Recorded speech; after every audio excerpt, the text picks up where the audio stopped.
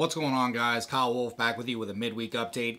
I know I didn't do a breakdown after St. Louis. I was at the old gray GNCC. Been really busy this week trying to get everything done from the GNCC, so I didn't. I know I haven't done a full breakdown on St. Louis, obviously, but what a race! That was one of the best races of the year. Cooper Webb getting the job done. Chase Sexton was right there and Jett with an uncharacteristic bad start, and he didn't really go anywhere. It took him a while to finally get moving, and he eventually got what was it fourth? No, he got he got fifth, and that's why we have a tie ball game going into the final four races of the year. And who would have thought that was even possible with the way the mid part of the season was going? Jett went on a run. He was winning everything. He was winning everything by a lot. And after the last two races, we've got, or I'm sorry, it wasn't in St. Louis, it was Foxborough. Who would have thought after the last two races we would have gone from, what was it, 23 points or 21 points, whatever the gap was, down to dead even with Jett and Cooper Webb. And Jett's on fire, and with four races left, it's time for the head games. And we all know Jett likes to play that. And I couldn't be more excited for the final four races. Whoever wins this title, they earn it, they deserve it, but this is going to be a uh, dogfight clear to the end. And Cooper Webb, I feel like, definitely wants redemption from Nashville last year. It wasn't Adam Cianciarulo's fault. We all remember that crash. I was there in person. You know, it was nothing Adam can do. And Cooper even recognized that once he saw everything. He's like, he's like, hey, I'm I messed up and I put myself in, in that position, and Adam was there. So I think uh, Cooper wants some redemption for Nashville last year, and he knows that had that not happened, a lot of us feel like if had that not happened, he might be carrying that number one plate this year instead of Sexton. But regardless, it is what it is. Sexton's your champ, and he looked good in Foxborough. He looked really good. He was starting to look like the Chase Sexton of old that we've seen him on that Honda. And I think once we get into these last four races, and especially the final two, if Sexton keeps up his momentum that he has going, he's going to really get in the fight and really screw up the points for somebody, whether it's going to be Cooper or Jett. And I'm not going to count out Eli out of taking points away from those two guys, and I'm certainly not going to count out Kenny from taking points away from those guys either. This is gonna. This is one of the better seasons, and I really didn't think that was going to be possible. But we've had a great year this year, and we got Nashville coming up this weekend, and I couldn't be more excited for it. With Nashville this weekend, it's the first East West showdown of the year. I don't like the fact that we wait until the final four races to do two shootouts. I know, you know, in the past it was, you know, the the one showdown at the finale in Vegas where there was no points on the line. Then they changed it to where there were points on the line for everybody. Back in the early and mid 90s when they started doing those east west combinations races, they would do two or three in a year but they were spread out throughout the year. Now we've got two East West Showdown races in the final four, and I just I feel like that's a bad time for the first one. I'm all right with doing the final one at Salt Lake.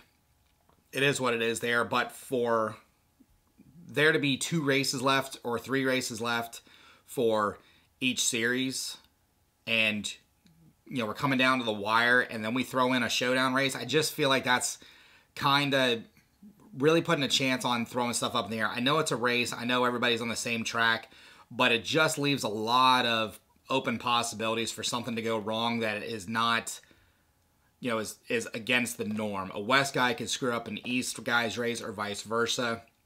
And I just I don't like that. I'm not saying I'm right or wrong. Just me personally, I, I look at it over the over the years, over the you know the 25 years of uh, showdown races or almost 30 years of showdown races, combination races, and I just, you know, I I don't like where it's at the end. If they would have done one in the first six rounds or first seven rounds, I would have been fine with that. You know, do do another one before Daytona, that would have been fine. I would have been all right with that. I just feel like doing two in the last four is a little bit much given the situation, given the circumstances, especially where we are in the points. But East Coast, you know, everybody's looking at Deegan. He got the win last week in Foxborough.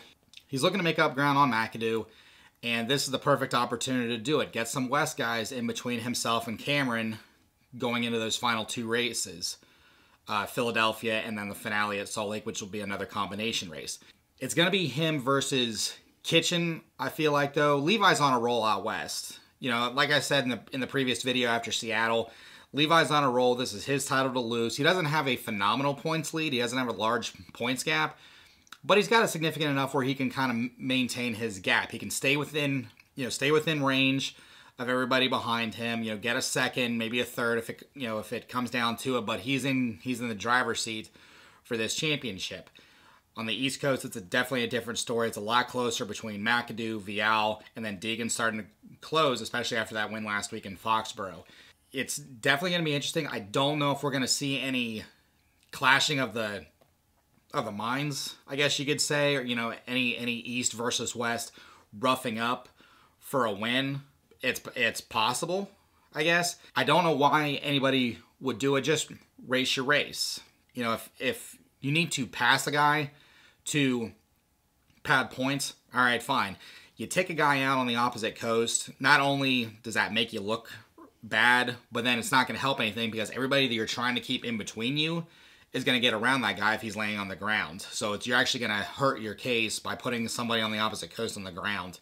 I don't think that's going to happen. I think uh, everybody's going to race it pretty straight up. We've got an you know, exciting series on our hands, and it's going to come down to the wire in Salt Lake for all three title, uh, all three championships. I have a feeling, unless something goes really wrong before we get to Salt Lake. I don't see it happening though. Then again, we've had dumber stuff happen, and we've had crazier stuff happen in the first round, the first two rounds, especially in that 250 East West. You know, we lost Forkner, and that was at the second round of the series in you know Arlington and or else he'd be in the, he'd be in the mix for this title contention. He'd be in the conversation for this. So I think there's a lot that is going to happen. I don't know if it's going to be catastrophic to anybody's series, but it's definitely getting closer in both that East and West. And I think by the time we get to Salt Lake, all three of those title fights are going to come down to the wire. I don't think anything's going to get wrapped up early. If you haven't checked out the breakdown that I did from the old gray GNCC, check that out right here. Great day of racing you know, Stu Baylor versus Jordan Ashburn at the end of it. And it was a great day of racing. But you can check out the breakdown. I do, if you haven't seen them before, I do all three races in a Moto World style format. The youth, the 10 a.m. race with the WXC, and then the afternoon race with the XC1 Pros. That's going to wrap it up for me. This is a very short one. If you would, go like the video, subscribe. I'm getting so close to a thousand. It would really help me out, and I appreciate you guys all watching these. Nashville is this weekend. I will be there. If you see me walking around the pits, say hi. I know a lot of you guys there. We're going to have some fun this weekend in Nashville, and I'll see you guys there. Thanks for watching. Go like, subscribe, comment, share, do what you guys do, and I'll see you in the next video.